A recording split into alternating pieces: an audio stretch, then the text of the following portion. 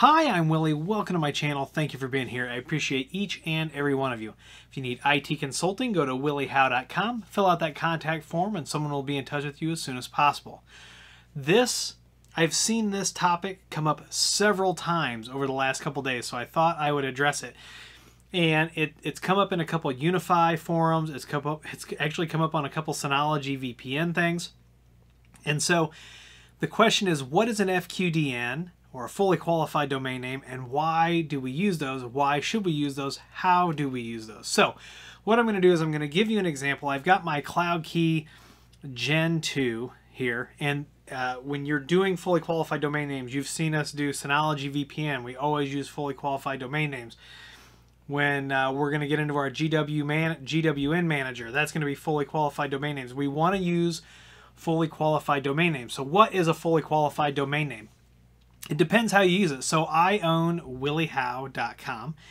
If I had a service, which I do, I have a uh, you know my website. If you go to that williehowe.com, that is the fully qualified domain name for my website. That service is my website. Now, as you can see here on the cloud key, for the cloud key, I have this set up as ckg2.lab.williehowe.com.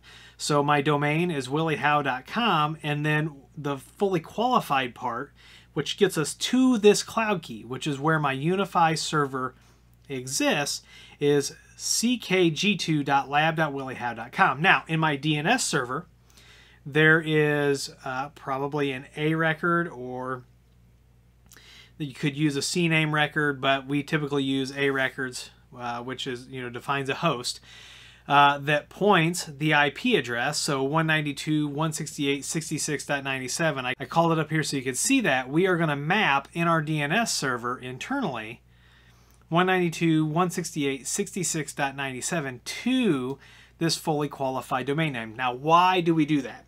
Well, we do that for several reasons.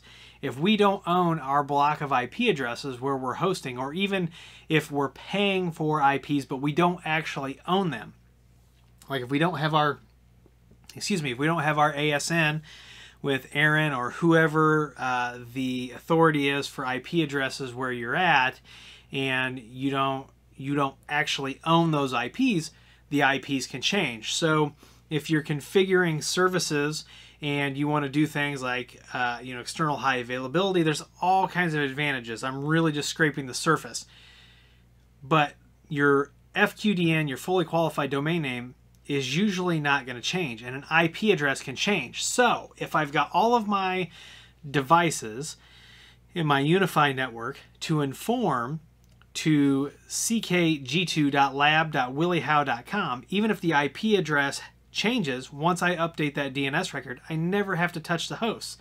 So I can provide that better continuity and uh, if you have to provide failover, disaster recovery, things like that, if you don't have to worry about the IP address, it's one less thing and just makes things go much smoother. That's why when you see the Synology videos, a lot of times we'll either buy that Google domain for 12 bucks a year or we will um, use a Synology.me and we then uh, you know connect to a VPN that is you know lab.williehowe.com um, or whatever your fully qualified domain name is instead of trying to connect to an IP address because a lot of folks don't have static IPs.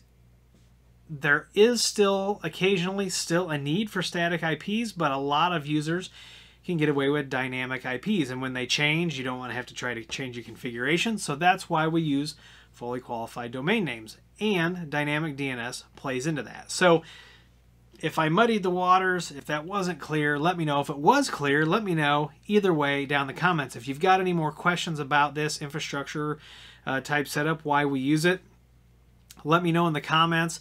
If I need to make another video explaining it a little further, I will. If you want to see fully qualified domain name uh, setups for specific products that we haven't done, or we want to revisit something that we have done, you know, let me know and we will work on that. So if you like this video, please give it a thumbs up. Please subscribe, please comment, share. Please follow me on Twitter, Instagram, and TikTok. Those links are down below. If you'd like to support the channel by becoming a pa patron on Patreon, that link is down below. If you'd like to support the channel by using all of our affiliate links, they're also down below. They don't change your price, but they do kick a couple bucks to the channel. And if you need that IT consulting, reach out at williehowe.com. Once again, I'm Willie. I want to thank you for being here. And as always, I'll see you in the next video.